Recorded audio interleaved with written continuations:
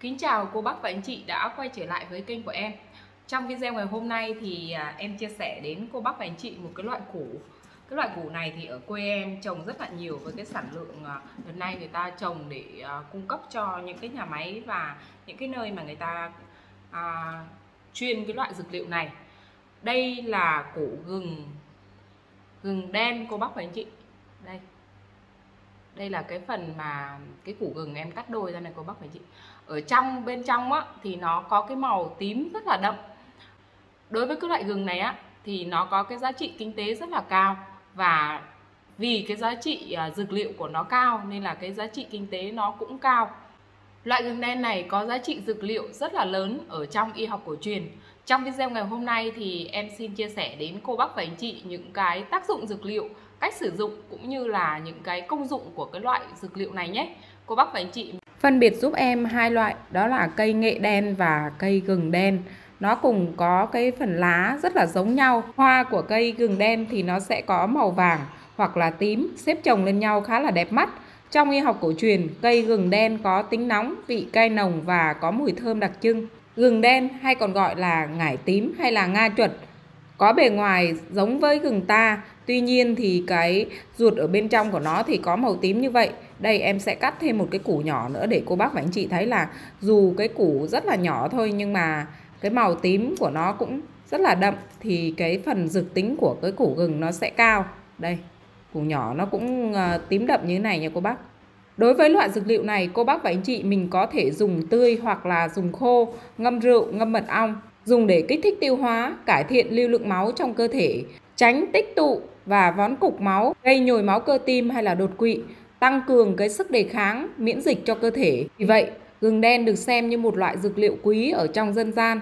Ngoài ra, theo y học hiện đại thì cây gừng đen có tác dụng kháng khuẩn, chống viêm rất là mạnh, giúp điều trị các cái bệnh về dị ứng, chống viêm loét dạ dày tá tràng, điều trị viêm đại tràng, ký sinh trùng sốt rét, kháng nấm, giảm stress và, và bệnh tiểu đường. Theo y học cổ truyền, gừng đen được biết đến như vị thuốc phá huyết hành khí, cực kỳ hiệu quả. Các thầy thuốc đông y từ xa xưa đã dùng gừng đen như một hoạt chất, thành phần cần thiết để hỗ trợ điều trị các cái chứng bệnh như là khí huyết ngưng trệ, không lưu thông, đau bụng đầy trướng, bệnh máu đông thành hòn cục, tiêu mủ trị khương, sinh ra non. Theo nghiên cứu của y học hiện đại thì cây gừng đen có tác dụng làm thu hẹp các cái khối u, ngăn ngừa làm giảm di căn của tế bào ung thư đến các bộ phận khác trên cơ thể. Một tác dụng nữa đó là giúp trị các cái vết thương lớn, nhiễm trùng, mình có thể dùng củ gừng đen tươi, giã nát và đắp lên cái vết thương, dùng băng gạc quấn 5 đến 6 tiếng thay một lần. Lưu ý mình sẽ đắp cái gừng này vào vết thương, nó sẽ gây rát nóng. Vì thế cần lưu ý sử dụng cho trẻ nhỏ. Công dụng tiếp theo đó là loại bỏ mủ và máu độc trong những cái mụn nhọt hay là các cái vết phỏng, tích tụ máu, mủ, độc. Ta sẽ sử dụng cái tinh chất, cái nước gừng đen để bôi lên cái vết thương, vết mụn nhọt hay là mủ đó để hút cái mủ ra ngoài. Bên cạnh đó thì trong gừng đen nó sẽ có thành phần giúp nhanh lành vết thương, mau lên da non. Tác dụng nữa của cái gừng này đó là nó kiểm soát cái cholesterol ở trong máu.